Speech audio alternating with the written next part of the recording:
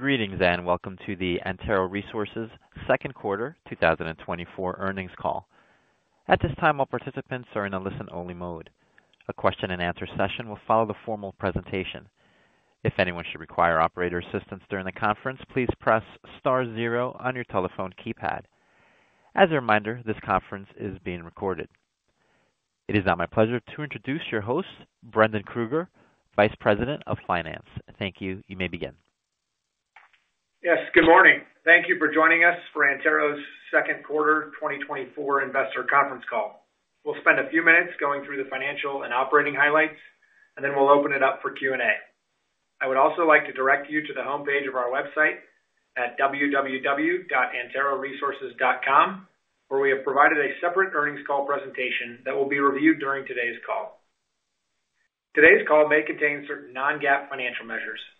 Please refer to our earnings press release for important disclosures regarding such measures, including reconciliations to the most comparable GAAP financial measures. Joining me on the call today are Paul Rady, Chairman, CEO, and President, Michael Kennedy, CFO, Justin Fowler, Senior Vice President of Natural Gas Marketing, and Dave Cannelongo, Senior Vice President of Liquids Marketing and Transportation. I will now turn the call over to Paul. Thank you, Brendan, and good morning, everyone. I'm going to start my comments on slide number three, titled Drilling and Completion Efficiencies. We continue to realize impressive operational efficiency gains. During the second quarter, we exceeded our record performance that we had in 2023, that's just last year, and in the first quarter of this year. Starting with the chart on the top left-hand side of our slide, our wells continue to get longer and averaged a quarterly record of over 18,000 lateral feet per well during this second quarter of 2024. This is 16% longer than our prior quarterly record. During the quarter, we completed a five-well pad that averaged nearly 20,000 lateral feet per well. The ability to drill these long laterals reflects the concentrated acreage position that we have built in West Virginia.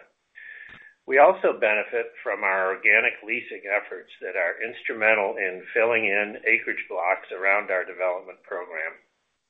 On the drilling side, we've averaged four days from spud to kickoff point during the first half of the year, which is an improvement from the 4.4 days last year, 2023. On the completion side, we once again set a quarterly record, averaging 11.9 stages per day during the second quarter. This is an increase from the 10.7 stages per day in 2023.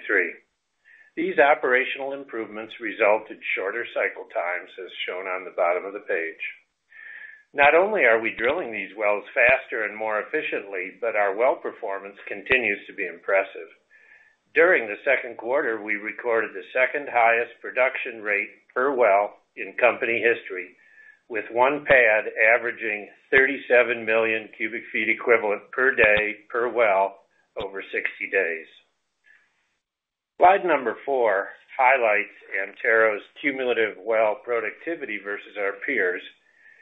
Since 2020, Antero's wells have outperformed the peer average well performance by 24%. Helping drive this outperformance has been improving liquids productivity in our liquids trend over that time. Now let's turn to slide number five, titled Antero Capital Efficiency versus Peers. This slide depicts the tangible benefits from our operational efficiency gains and strong well performance. Antero has the lowest maintenance capital per Mcf equivalent of its peer group at just $0.54 per Mcfe. This is 43% below the peer average of $0.95 per Mcfe.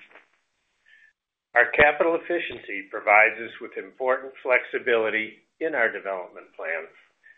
Given current natural gas pricing, we were able to defer a pad from the third quarter until the end of this year. Despite this deferral, we are still able to increase our 2024 annual production guidance as a result of the strong productivity and efficiency gains. Now, To touch on the current liquids and NGL fundamentals, I'm going to turn it over to our Senior Vice President of Liquids Marketing and Transportation, Dave Cannelongo, for his comments. Dave? Thanks, Paul. The second quarter of 2024 saw a continuation of the improved liquids fundamentals that we observed in the first quarter, providing for a strong start to the year. Propane exports continue to drive demand in the U.S. NGL market, and rising export premiums have become a major tailwind for Antero's C3+ price realizations in 2024. Slide number 6 shows historical propane exports according to weekly EIA data and highlights the consistent increases we have observed since the COVID pandemic began in 2020. In the second quarter of this year, the U.S. set a new weekly propane export record at 2.34 million barrels a day. Looking at the broader trend, export volumes have averaged above 1.7 million barrels a day on a quarterly basis since the fourth quarter of last year, which is higher than the annual average in 2023. The start of the third quarter has been lower due to the impact of Hurricane Beryl on the Gulf Coast export docks this July, but we expect propane export numbers to recover and surpass previous quarters as we move through the remainder of this year. The high export levels we are seeing in the market are testing the maximum threshold of U.S. dock capacity, particularly in the U.S. Gulf Coast. Slide number 7 illustrates existing LPG export capacity in the Gulf Coast in the yellow area and actual LPG exports in the black line. Looking back to 2019 and 2020, we saw a period of tightness at the LPG docks, reflected by high utilization rates and low availability of spot cargoes. This, in turn, led to very high premiums to Mont Belvieu pricing for waterborne spot cargoes. Several terminal expansions alleviated these constraints in 2020 and 2021. However, U.S. NGL production and global LPG demand have continued to steadily increase, and we are now once again in a period of extremely tight terminal capacity and high dock premiums.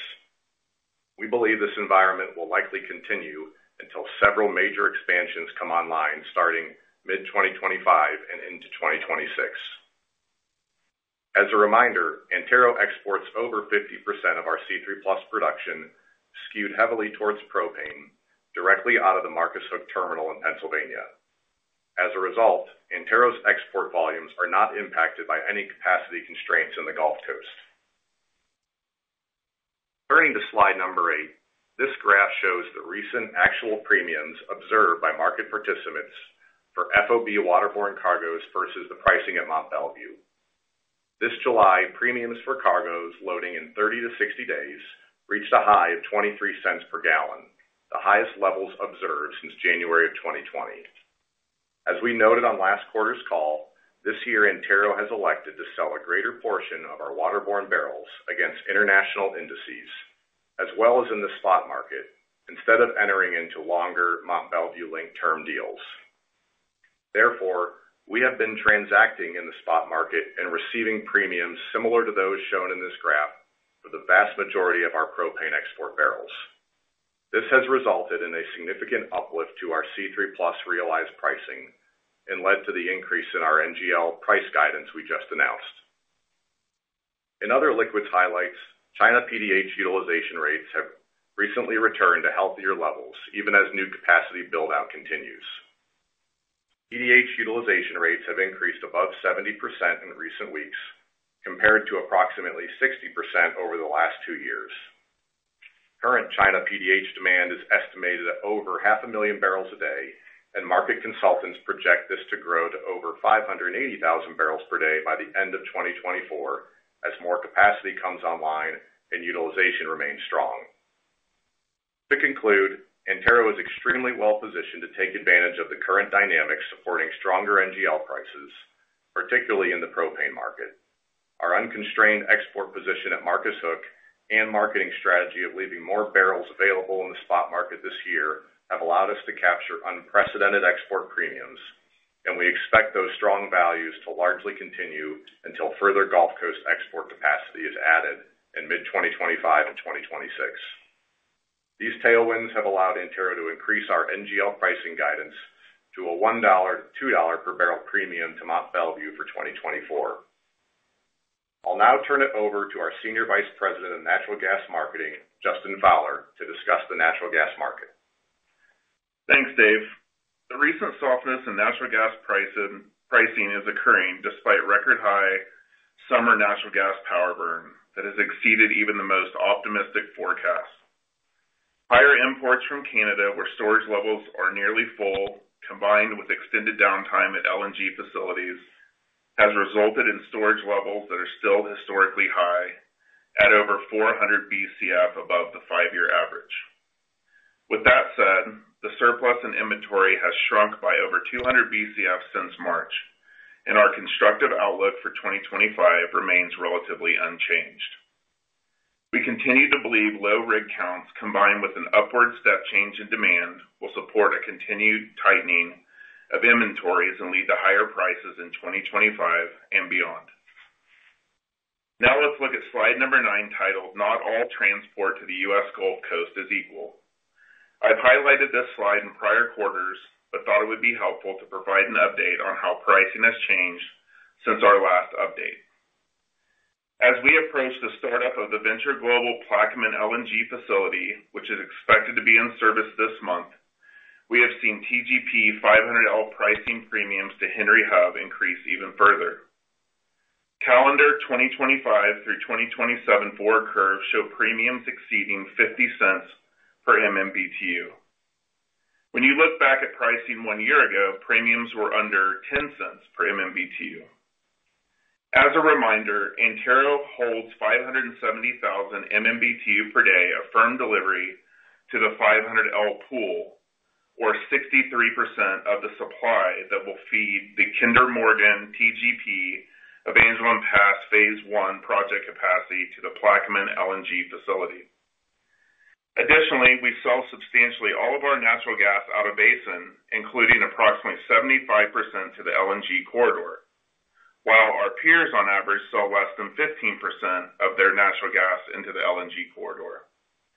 Our firm transportation portfolio provides us with direct exposure to the growing LNG demand along the Gulf Coast, and importantly, into Tier One pricing points in the vicinity of the major LNG facilities. With several new LNG facilities starting up over the next year, we expect to see a widening spread between sales points near Henry Hub and sales points outside of this premium market. Next, let's turn to the chart on slide number 10, titled U.S. Power Burn. In addition to the highly anticipated ramp in LNG demand of 20 Bcf by the end of the decade, electric power generation demand continues to be highly topical. During the first half of 2024, natural gas power burn has increased approximately 1.4 Bcf a day compared to the same period last year. While over the last decade, we've seen annual increases each year average 1.3 Bcf per day. We believe this trend of higher natural gas power burn demand will continue going forward, driven by demand growth from AI data centers, crypto mining, and electric vehicles. Factors including another wave of coal plant retirements beginning in 2025, and the market share of this demand growth that is ultimately met by natural gas, could lead to meaningful higher demand. Natural gas is the most reliable, accessible, and affordable energy resource available today to fill these future demand needs. With that, I will turn it over to Mike Kennedy, Antero's CFO. Thanks, Justin. I'd like to start with slide number 11, titled Lowest Free Cash Flow Breakeven. This slide compares 2024 unhedged free cash flow breakeven levels across our peer group. To add to what Dave just highlighted, the increase in our NGL pricing guidance adds an incremental $60 million to our free cash flow in 2024, and pushes our natural gas breakeven level even lower. Our $2.20 Mcf breakeven level benefits from two primary drivers. First, our low maintenance capital requirements. Driven by the capital efficiency gains that Paul detailed earlier, we were able to reduce our annual drilling and completion budget by over $200 million this year, while maintaining flat production. we expect this maintenance capital level in and around $700 million to be sustainable going forward. The second driver is our high exposure to liquids. Despite the weakness in the natural gas price, which averaged just $2.07 per Mcf through the first half of 2024, strong C3+ NGL prices have provided a $1.10 per Mcf uplift to our equivalent price realizations during that period. Importantly, this low free cash flow breakeven provides downside protection throughout cycles. The chart on the right-hand side of the slide illustrates first half 2024 unhedged free cash flow. While we just have a small outspend year to date, our gas peers with higher breakeven levels show unsustainable outspends. We believe this analysis is the best way to determine the true economics and strength of a company's development program.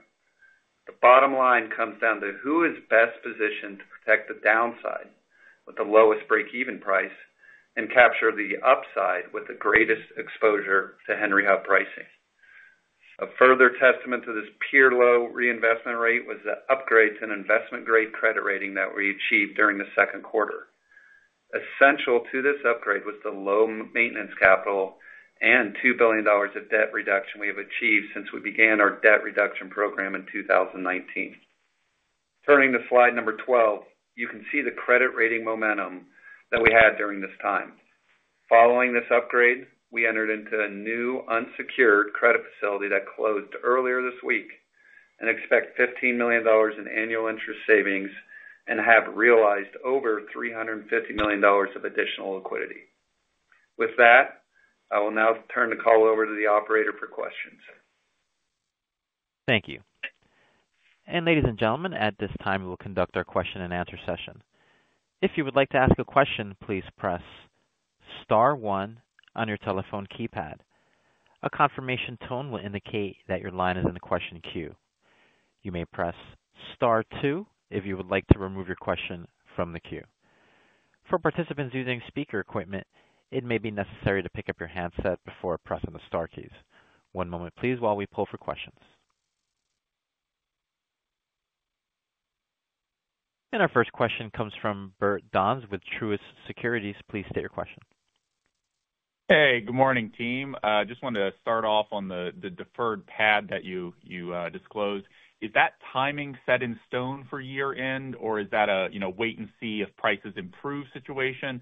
And then maybe logistically, how does that work for the service cost? Did you already have a price locked in, or will you renegotiate when you go to complete that pad? Hi, Bert, Mike Kennedy. Uh, no, that is still to be determined, really, just natural gas prices. We deferred it to turn in line basically at the end of the year, beginning of next, just to try to get into the winter pricing uh, season. But of course, you know, natural gas prices are dynamic and fluid, so if those change, then we can defer that even further. Uh, and the pricing, it's a spot crew, so you have a gener we have a general kind of pricing mechanism around commodity prices that it follows. So uh, it is a spot pricing as well for the completion crew. Okay, perfect. Thanks. And then, uh, the next one, on the longer laterals, um, you know, I to be honest, I was kind of expecting some sort of productivity dip when you go to 20,000 feet. Um, but on a per foot, it looked just in line with your short laterals. Um, could you maybe talk about the cost savings there? If you were to drill two 10,000-foot laterals instead of one of these 20,000-foot laterals, if you could just put some numbers around that, you know, uh, just anything there. Yeah, I don't know those exact numbers. We haven't drilled a 10,000-foot well in quite some time, so uh, I don't know what those are, but our numbers on those longer laterals are in the low $900 per foot. Gotcha. Makes sense. Thank you. Yeah. Our next question comes from Arun Jayaram with JPMorgan Chase & Co. Please state your question. Yeah, my first question is regarding some of the completion efficiency gains. You mentioned that you've averaged uh, 12 uh, stages, um, you know, per day. Uh, there's a lot of different um, technologies that producers are using, simul-frac, trimul-frac. I was wondering if you could maybe shed some light on your, you know, on your process, what you're doing at Antero. I think it's a continuous pumping uh, technique that you're using. Love to love to see if you can shed some more light on that and what percentage of your mix are you using that for today? Yeah, I think we we talked about a certain concept but didn't elaborate on it in the last earnings call. But we have, I don't know about perfected, but modernized the uh, manifold system as we switch back and forth doing zipper fracs between between our laterals on a pad. So whereas we used to sling a lot of iron, you'd see us, you know, uh, banging iron and uh, disconnecting wellheads and reconnecting them in a fairly elaborate manifold. Now it's more Uh, computerized, and we can switch on and off and shift back and forth quite quickly. So I'd give kudos to our uh, operating group to develop this uh, automatic manifold system that can switch back and forth quite readily. And what percentage of your wells, Paul, are you using that that process on today? 100%. Yeah, we have one. Okay. We only have one completion, so. Understood. I had a follow-up for Justin. Um, you know, and wanted to get your take on the PJM auction results uh, earlier uh, this week. I know that the results were, you know, the pricing was higher than than the street was anticipating, much higher. And I was wondering if you could talk about some of the implications uh, to natural gas, Uh, 'cause it looks like, you know, it is going to give some incremental advantages talking to our electric utility team for dispatchable generation, i.e., natural gas. Do you expect to see uh, some increase in gas-fired capacity peakers from, uh, you know, market forces, so to speak? And and and perhaps we didn't really see the the uh the gas curve move on that, but wanted to get your thoughts, Justin, on that. Yeah. Good morning, Arun. It's Justin. Um, when we look out at, you know, PJM, MISO, um, and then SERC, we have been you know, thinking of that as about a BCF of of natural gas demand additions um, toward the end of the decade. So when we total it up, maybe it ends up being around 5 BCF per day by 2030. You know, to your point on the auctions and, you know, the PJM pricing, um, you know, with all the AI data center growth, with the other projects that have been you know, announced in the you know, PJM area, West Virginia, Virgina uh West Virginia and then the Carolinas. Um, you know, we we have been um, you know, categorizing that as the AI data center growth and then that power draw um, from those locations. So um, expected the PJM to potentially start trading higher. And then as these power projects continue forward, um, you know, we've chatted to several groups, one in particular in West Virginia near us. But it seems that that natural gas need will continue to grow if those projects move forward. Great. Thanks a lot. Our next question comes from Ati Modak with Goldman Sachs. Please state your question. Hi. Good morning, team. So last call you mentioned that the potential for shareholder returns was maybe in the first half of next year. With the developments around the macro since then, how are you thinking about the trajectory of gas prices now? And then how does that change your timing expectations around return of capital? Yeah. You know, just reiterate what we said, which still holds true. Uh, first 500 million-ish of uh, free cash flow, I think it's around 600 million with where our credit facility is at 630, goes to debt pay down. Uh, that would get our credit facility down to zero and then take out that stub 2026s that are still outstanding at just under $100 million. And then from there, it would be 50/50 to shareholder returns in the form of share buybacks, most likely, and then further debt pay down. And then we actually we have a 2030 note out that's got a 5 3/8 coupon, which we'll probably still leave outstanding. So once you get through finding those 2029s, then it would be the vast majority would go to shareholder buyback. So uh, that still holds. It's obviously you hit on it. It's dependent on commodity prices. Uh, commodity prices since last quarter have trended a bit lower, so Uh, it doesn't look like that's gonna occur in 2024, but definitely at today's commodity prices, occurs sometime in 2025. That's very helpful. Thank you. And then, uh, thanks for the color on the automated manifold system. Just curious in terms of the continued efficiencies from here on, is that going to be driven by other components of the well construction process here, or is there something incremental on top of the automated zipper fracs that you're thinking of? Uh, this is the, I'd say, the base innovation. As we said, we just have the one frac crew, but uh, we've been using the manifold system for the last quarter, at least, uh, internally developed. And uh, so I think that's that's our main uh our main innovation at the moment. Then I'd add one other. You know, we are gonna test out on spot fleets, the e-fleets. Yeah. So we'll see how those perform. Right now, we're using a dual fuel, and the e-fleets have, you know, generally have less vibration, so maybe that'll lower the downtime even further, but that's kind of the next innovation we're gonna pilot. Thank you. Thank you so much for the color. Mm-hmm. Our next question comes from David Deckelbaum with TD Cowen. Please state your question. Hi, David. Hey, guys. Thanks. Hey, how are you guys? Thanks for taking my my questions today.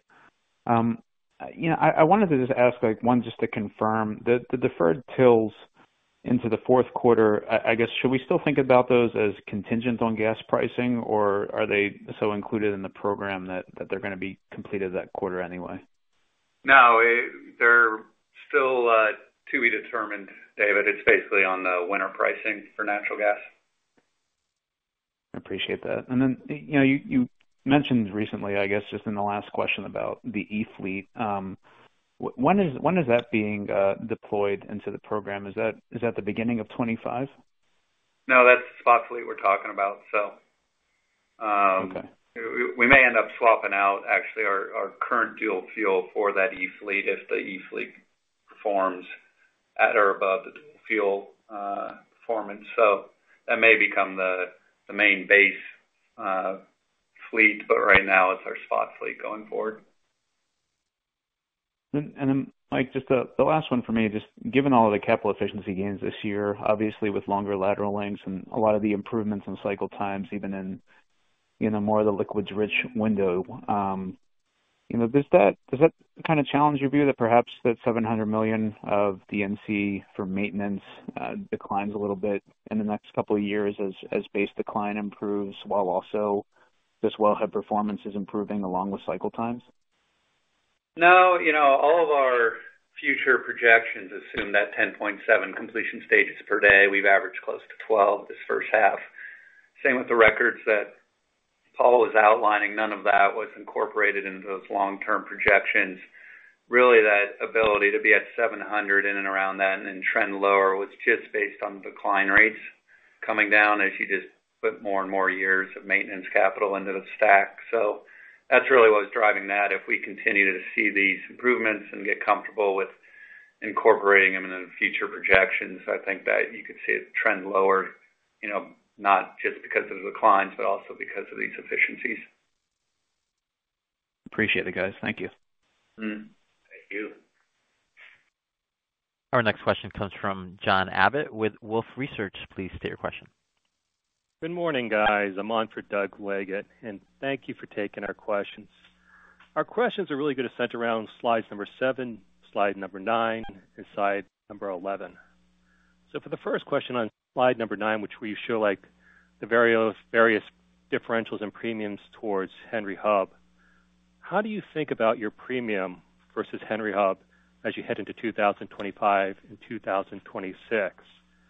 And then for the second question, you gave us what your cash flow breakeven is in for 2024, but you're going to get the higher premiums potentially here from gas prices as you go out in 2025 and 2026. And then there's going to be some sort of offset as more export capacity and for propane comes online.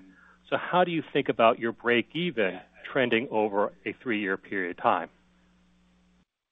Yeah, good questions. Uh, that all should trend in our favor just because of our exposure to the LNG corridor. You know, that slide you referenced, slide number 9, shows how it increases over the next three years, um, just because of that demand that's coming online. So that all that all accrues to us. Uh, when we look at it right now, just putting in these market prices, uh, estimates for 2024 is $0.00-$0.10 premium versus Henry Hub. Next year, you know, it'd be more like $0.10-$0.20, and the following years is $0.20-$0.30. So it ticks up about $0.10 each of those years, and that would obviously lower our breakevens almost a one-for-one amount on that. So that's definitely something that uh, Antero is exposed to and has uh, in our models going forward, increasing free cash flow over that timeframe. Appreciate it. Thank you very much for taking our questions. Yep. Thank you. And our next question comes from Jacob Roberts with TPH & Co. Please state your question. Morning. Morning. Just wanted to touch on the longer, longer laterals again. Wondering if you could frame the current opportunity uh, in the inventory for the 18,000+, and then if you're able to point to, is there a portion of the land capital that's dedicated to extending uh, laterals in the portfolio? Yes. Yeah. that we when we have an opportunity to go longer, we definitely tie up the leasehold, and uh, so that's where a lot of it is being spent. We control so much of uh, those units, but we can beef them up just a little bit more when we see the physical opportunity to go longer. So, uh, that is where we're spending our land capital, is longer or more of wells and prospects nearby. Okay, perfect. And then on uh, the ethane volumes uh, on the quarter seemed a little bit lumpy. Could you just uh, frame what you expect the run rate to be from here going to Shell, please? Yeah, we go to more than just Shell, shell so we don't guide around Shell, but it's around our ethane production, and we kept guidance flat on that. We had good performance in the second quarter, Um, we'll continue to see how that plays out the rest of the year. But uh, we continue to maintain that ethane production guidance of 76,000 barrels to 80,000 barrels a day. Perfect. Appreciate the time, guys. Yep. Thanks, Jacob. Thank you. And our next question comes from Trafford Lamar with Raymond James. Please state your question. Hi, guys. Thanks for taking my questions. Um, I guess the first one, looking at slide number 3, just want to confirm the updated production guidance, is that based on a uh, completion stage run rate of 12 per day? No, that well, it is because we realized that in the first half, but it's not incorporating that into the second half schedule. So that's really just looking at our outperformance in the first half of the year. We averaged around 3.425 Bcfe a day. That production drifts lower throughout the rest of the year, and thus gets us down to that new production guidance of 3,375-3,425 for the annual amount. Okay, perfect. And then second one is on land spend. Noticed you all were able to acquire incremental locations at a material discount to 1Q on a per location basis. Is that really... Are you all seeing the ground floor bid spread ask becoming more favorable? Um, is that acreage comparable to what you all purchased in the first quarter? It is comparable, and it is becoming more favorable. You know, obviously, you have lower commodity prices and low gas prices, so acreage generally trends in that direction, which way commodity prices go. So with lower prices comes lower acreage values, generally. Perfect. Thanks, guys. Yep. Thanks, Trafford. Thank you. And our next question comes from Kevin MacCurdy with Pickering Energy Partners. Please state your question. Hey, good morning. Uh, we appreciate all the details on C3+ pricing in your prepared remarks and the details on the strong international markets. Uh, I wonder if you could give some more color on how your ethane is being priced and what kind of uplift you're getting there. Yeah, Kevin, this is Dave Cannelongo. Um, you know, we've alluded to in the past that we've been migrating uh, more towards gas-linked pricing. So, um, you know, I would say today we're probably in that two-thirds gas, one-third Mont Belvieu um, range here in 2024. And then as we move into 2025 and 2026, that Mont Belvieu linked trends down closer to, call it, maybe 20%, and the balance uh, really tied to, uh, you know, fixing in a gas uplift um, for the ethane barrels that we recover. Gotcha. And that gas price would be at a NYMEX plus or a local price plus price? Yeah, NYMEX is really how we've uh, formed our program over the years. Thanks. That's all for me. Thanks, Kevin. Thank you. There are no further questions at this time. I'll turn the floor back to Brendan Krueger for closing remarks. Yes, thank you for joining us on today's call. Please reach out with any further questions. Thank you. This concludes today's conference. All parties may disconnect. Have a good day.